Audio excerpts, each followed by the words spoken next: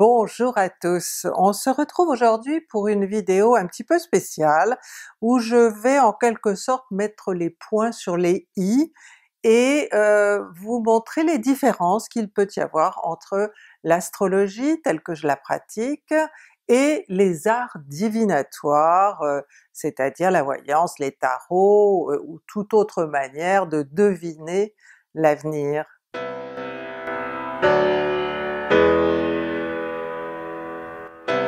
On va démarrer avec l'astrologie telle que je la pratique et telle que vous euh, la connaissez probablement.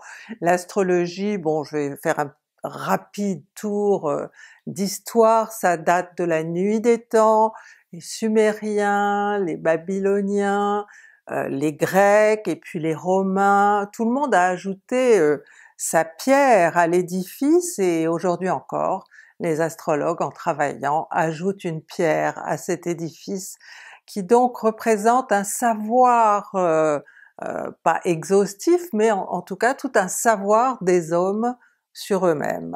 Alors comment ça fonctionne? Eh bien ça fonctionne sur euh, les planètes du système solaire, sauf que jusqu'à jusqu'au 18e siècle, nous n'en avions que sept, c'est-à-dire les sept planètes visibles à l'œil nu hein, finalement.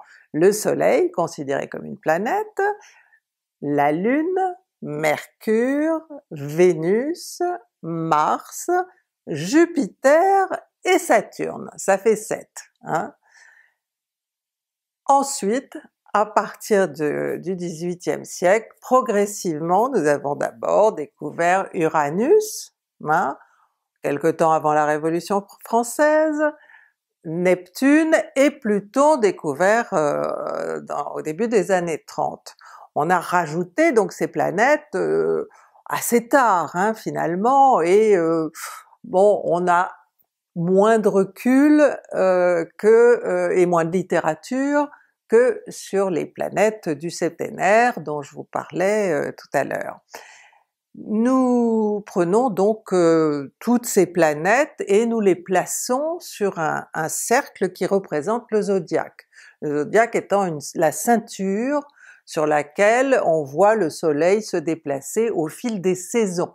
Parce que au départ, euh, l'astrologie est euh, saisonnière, elle est construite sur la course du soleil apparente hein, devant les constellations.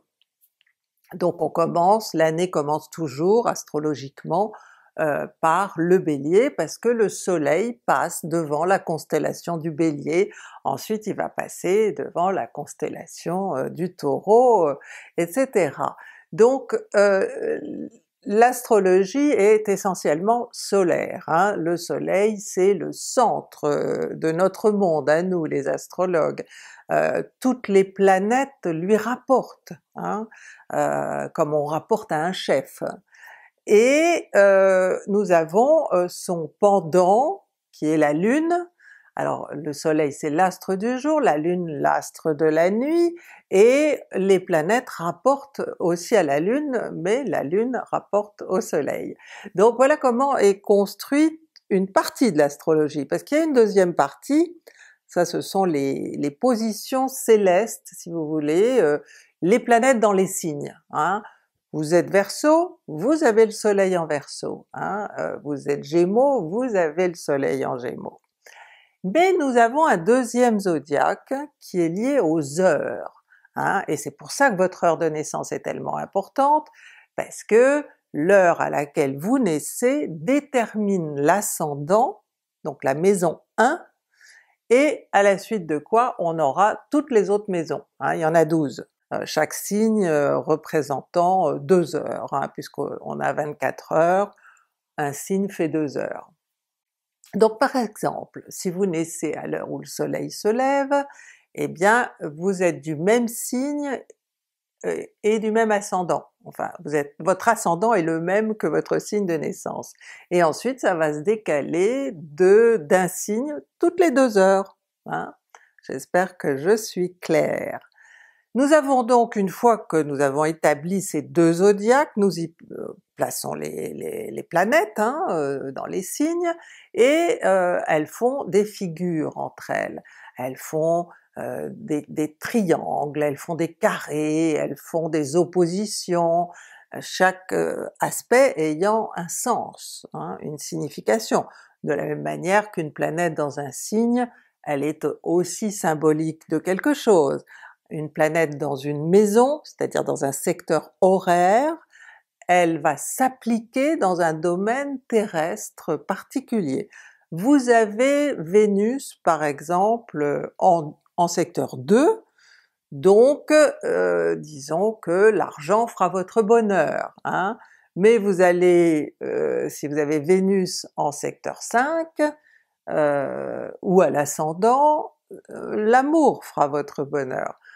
Vous voyez, on est obligé d'interpréter en fonction du signe des maisons, des secteurs, et des aspects que les planètes vont former entre elles parce qu'elles vont se modérer ou au contraire euh, se rendre les unes et les autres beaucoup plus actives. Euh, c'est le fonctionnement, c'est le truc de départ. Hein? Donc euh, je monte un thème et je me retrouve avec une figure, avec les astres, hein, qui font des, des aspects entre eux. Et après, tout le travail de l'astrologue, ça va être d'interpréter ce dessin, de lui donner un sens, de lui trouver euh, des interprétations, et c'est pour ça que l'astrologie est un art, parce que c'est un art d'interprétation, c'est euh, comme si comme si j'étais l'interprète d'une langue euh, inconnue de tous et que bon, au fur et à mesure, euh, j'apprenais à décrypter cette langue un peu, euh, si vous voulez, comme les hiéroglyphes des Égyptiens. Hein? on se trouvait face à des signes bizarres, et puis des hommes très intelligents qui ont découvert ce que ça voulait dire. Et eh ben les astrologues ils font pareil, avec une carte du ciel, ils arrivent à comprendre comment quelqu'un fonctionne déjà, et comment en fonction de ce fonctionnement, leur vie peut se dérouler. Ah, c'est la qualité de l'interprétation qui fait qu'un astrologue est un bon astrologue ou euh, n'est pas un bon astrologue. Quelqu'un qui va vous euh, asséner euh, des il va arriver ci ou il va arriver ça, euh, n'est pas du tout abouti comme astrologue. L'astrologue doit être aussi psychologue et doit...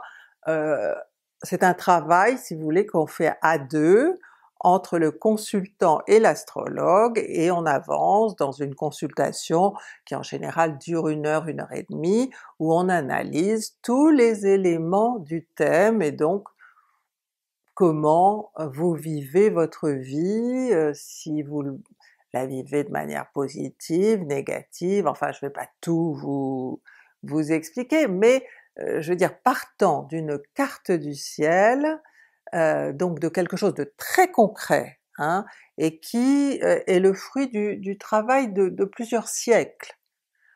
On peut comprendre la psychologie de quelqu'un et la psychologie étant le destin, eh bien on peut connaître votre destin.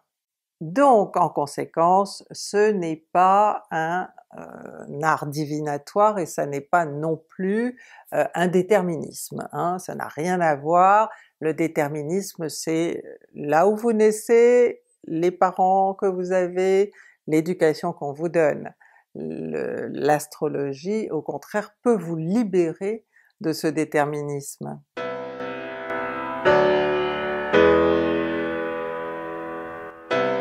Nous allons voir maintenant euh, quelle est euh, la différence entre l'astrologie et ces fameux arts euh, divinatoires dont nous parlons, c'est-à-dire la voyance, les tarots, bon, les lignes de la main même parfois. je veux on peut, on peut lire l'avenir dans tout, hein, dans le mar de café, bon, chacun a sa méthode. Le, la plupart du temps, le voyant n'a pas euh, de support, comme moi j'ai le thème astral, le voyant il ressent, il voit des symboles, il voit des images, bon, et encore faut-il arriver à les dater, à, les, à, les, à leur donner, je veux dire, une, un corps, enfin quelque chose de, de concret dans le temps. c'est pas toujours possible. Mais le voyant il peut avoir des fulgurances, hein, c'est sûr que il peut voir, le vrai voyant peut effectivement voir des situations, vous en parler, les, essayer de les décrypter, ou de décrypter les images qu'il voit. après c'est une question de confiance, hein, vous faites confiance à cette personne ou pas. Hein. Après il y a le, la cartomancie, enfin la taromancie, euh, euh, euh, alors là il y a un support, hein, le, le, tarot, la carte du tarot, elle a un sens, elle a un symbole, elle, elle a une signification. Si vous prenez un tarot normal, tarot de Marseille, tarot de Béline, il y a des images sur les cartes et les images font euh, monter des, images dans la personne qui, qui tire les cartes, hein, euh, c'est-à-dire elle va, en regardant telle carte, elle va vous donner telle indication, euh, telle prévision, c'est un support pour l'intuition, hein. c'est pas de la voyance, ce n'est pas la même chose. Si vous voulez, le, le voyant il a vraiment c'est physiquement qu'il ressent quelque chose. La cartomancienne, la personne qui vous tire les tarots, elle ne fait, elle lit les tarots, elle les interprète, hein, comme moi je vais interpréter un thème astral. Mais bon, tout ça est évidemment subjectif, hein, elle interprète les cartes de sa propre vision à elle, c'est pas forcément la vision de votre réalité. Hein elle peut, quelqu'un qui tire les tarots peut être très juste dans son interprétation d'un tirage, comme elle peut être complètement à côté de la plaque. Cela dit, l'astrologue aussi. Hein. Bon. Euh, en dernier lieu, euh, bon les lignes de la main, alors franchement, je vais vous dire, j'y connais rien du tout et euh, jamais on m'a lu dans les lignes de la main en me disant il va se passer ci, il va se passer ça, non. Euh, à votre place, je m'en tiendrais à deux, possibilités, hein, de, mieux vous connaître et de mieux connaître votre, votre destinée, euh, c'est l'astrologie et peut-être la voyance dans la mesure où vous tombez sur quelqu'un de vraiment bien et qui vous aura été recommandé par d'autres personnes. J'espère que maintenant vous faites bien la différence entre l'astrologie et les arts divinatoires et que j'aurai un petit peu éclairé votre lanterne. À très bientôt!